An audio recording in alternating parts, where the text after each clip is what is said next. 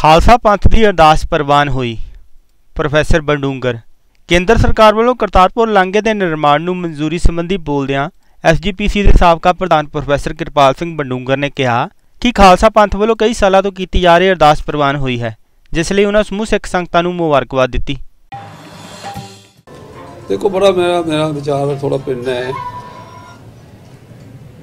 ਜੋ ਵੀ ਪ੍ਰਮਾਤਮਾ ਕਰਾਉਂਦਾ, ਉਹ ਮਨੁੱਖਾਂ ਨਾਲ ਹੀ ਕਰਾਉਂਦਾ ਕੰਮ।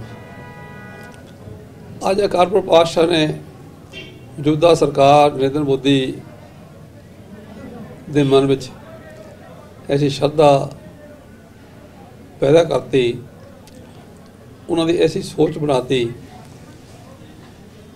ਉਹਨਾਂ ਨੇ ਫੈਸਲਾ ਲਿਆ ਔਰ ਪਾਕਿਸਤਾਨ ਦੇ ਵਿੱਚ ਵੀ ਇਸ ਤਰ੍ਹਾਂ ਦੇ ਹਾਲਾਤ, ਇਸ ਤਰ੍ਹਾਂ ਦੀ ਹਕੂਮਤ ਬਦਲੀ, ਉਹਨਾਂ ਨੇ ਵੀ ਇਸ ਗੱਲ ਦਾ ਅਹਿਸਾਸ ਕੀਤਾ।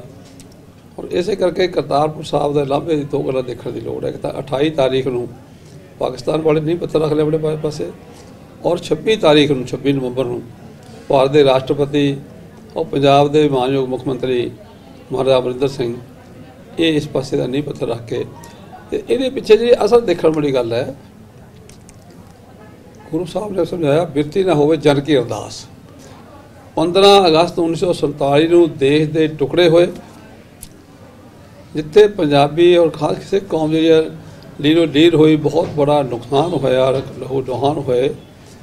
ਉੱਥੇ ਸਾਡੇ ਬਹੁਤ ਸਾਰੇ ਗੁਰਦੁਆਰੇ, ਗੁਰਧਾਮ ਵੀ ਆਪਾਂ ਤੋਂ ਵਿਛੜ ਗਏ ਸੀ। ਔਰ ਉਦੋਂ ਤੋਂ ਲੈ ਕੇ ਸਮੁੱਚਾ ਖਾਲਸਾ ਪੰਥ ਹਰ ਗੁਰਦੁਆਰਾ ਸਾਹਿਬ ਦੇ ਵਿੱਚ ਆਪਣੇ ਘਰ ਵਿੱਚ ਬੈਠਾ ਨਿਤਨੇਮ ਕਰਨ ਤੋਂ ਬਾਅਦ ਹਰ ਰੋਜ਼ ਅਰਦਾਸ ਕਰਦੇ ਆ ਰਹੇ, ਹਰ ਵਸ਼ਰ ਅਰਦਾਸ ਕਰਦਾ ਆ ਰਿਹਾ, ਜਿਨ੍ਹਾਂ ਗੁਰਦੁਆਰਿਆਂ, ਗੁਰਧਾਮਾਂ ਤੋਂ ਪੰਥ ਤੋਂ ਵਿਛੋੜਿਆ ਗਿਆ ਹੈ। ਉਹਨਾਂ ਦੇ ਸਕੂਲੇ ਦਰਸ਼ਨਦਾਰ ਸੇਵਾ ਸੰਭਾਲ ਦਾ ਨੂੰ ਤੇ ਖਾਲਸਾ ਪੰਥ ਨੂੰ ਬਖਸ਼ੋ। ਅੱਜ ਉਹ ਸੁੱਚੇ ਖਾਲਸਾ ਪੰਥ ਦੀ ਅਰਦਾਸ ਜਿਹੜੀ ਹੈ, ਉਹ ਪ੍ਰਵਾਨ ਹੋਈ ਹੈ ਔਰ ਕਾਰਬਨ ਪਾਤਸ਼ਾਹ ਨੇ ਹੀ ਇਹਨਾਂ ਸਾਰੀਆਂ ਸ਼ਕਤੀਆਂ ਦੇ ਮਨ ਵਿੱਚ ਐਸੀ ਭਾਵਨਾ ਪੈਦਾ ਕਰਤੀ ਸੀ ਸ਼ਰਧਾ ਪੈਦਾ ਕਰਤੀ ਔਰ ਇਹ ਇਹਨਾਂ ਨੇ ਫੈਸਲੇ ਦਿੱਤੇ।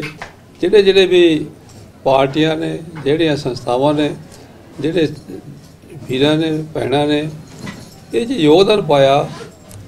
ਉਹਨਾਂ ਸਾਰਿਆਂ ਦਾ ਜਿਹੜਾ ਮੈਂ ਧੰਨਵਾਦ ਵੀ ਕਰਦਾ ਔਰ ਸਮੁੱਚੇ ਖਾਲਸਾ ਪੰਥ ਨੂੰ ਇਸ ਫੈਸਲੇ ਤੇ ਮੁਬਾਰਕਬਾਦ।